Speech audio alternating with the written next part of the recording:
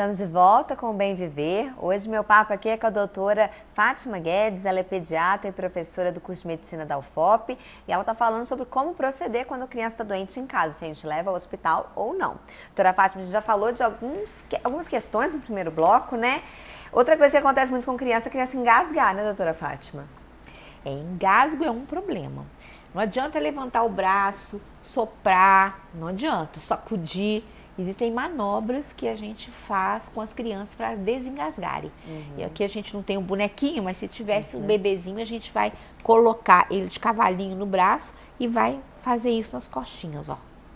Bater assim de levezinho, isso, né? É, de cima para baixo, para poder o alimento sair e não ir para o pulmão. Não adianta fazer isso, soprar, nada disso. E se a criança está maiorzinha, doutora Fátima? Tem uma outra manobra que a gente abraça a criança pelo bracinho. Um dia a gente pode falar disso hum, no programa, claro. que aí eu trago, a gente pode trazer o bebezinho, o bebezinho para fazer. Né? E a uhum. gente aborda, abaixa, abraço, abaixo do externo. Não faço em casa sem a gente aprender, sem a gente ensinar. Uhum. E a gente aperta aqui e puxa, faz um movimento para cima e a criança joga fora. Uhum. Isso é muito interessante. Vou contar rapidamente. Eu estava viajando com meu marido fora do país.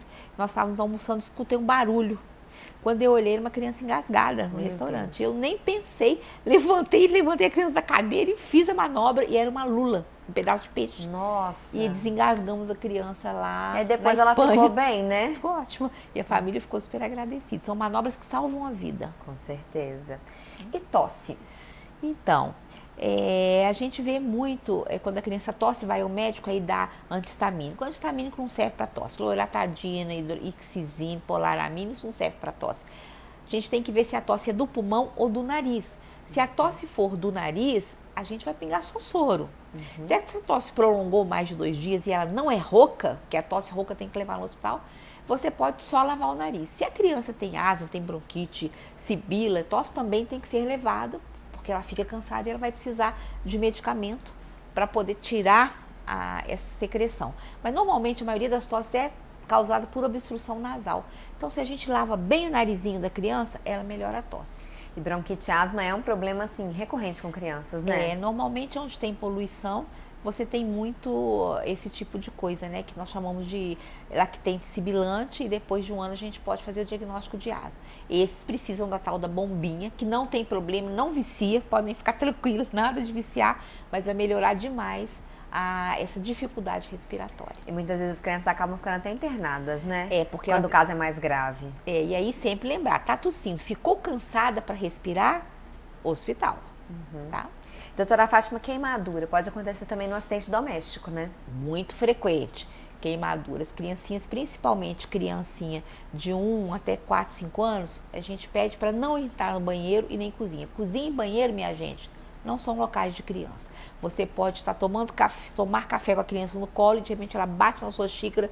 Eu já cansei, eu sou emergencista, já cansei de pegar criança toda queimada porque a caneco, o caneco virou. Uhum. Ou então ela abre o forno e põe a mão Uhum. Relaxa e queima Ou então puxou toda. a panela que está no fogão pelo e, cabo e cai, cai em então, cima eu dela. Eu vejo casos gravíssimos. Aqui na Santa Casa mesmo já vi.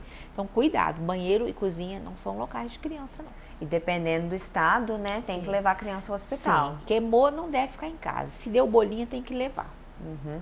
E a questão de alguma alergia? A alergia que a gente que, que é importante na criança é aquela alergia que tem inchaço. Uhum. Então, foi picar de abelha, inchou o lábio, uhum. inchou o nariz, inchou a orelha, tem que levar. Porque esse inchaço acontece também dentro da gente, então uhum. dentro da laringe, da corda vocal, e isso pode impedir a respiração e é um quadro grave. Uhum. Criança pode chegar a intoxicar também, doutora Fátima? Muito, muito, muito comum. né? Comuníssimo. Comigo ninguém pode. Eles comem tudo, né? Já vi criança que tomou leite de rosas já vi criancinha que pegou detergente branquinho achando que era leite, tomou como uma madeira. Eu já vi criança comer veneninho de rato. Nossa. Então, essas coisas têm que ficar longe das crianças, longe. Tomada fechada, é tampadinha, é, remédios muito altos para que a criança não consiga pegar, porque elas comem, uhum. elas acham que é bala. Claro, assim, que dependendo do que a criança comeu que for diferente, não tem tanto prejuízo, né? É, mas normalmente intoxicou também tem que levar para o hospital. Tem que levar Porque também. tem, tem algumas intoxicações que se manifestam 48 horas depois.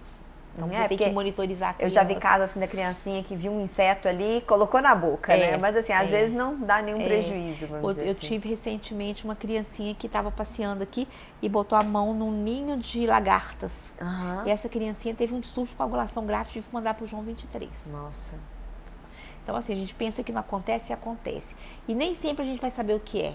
Uhum. Isso é muito importante. A gente vê pelo sintoma, porque nem sempre você vai conseguir achar o remédio que sumiu, a, o, a- o- o detergente que esvaziou.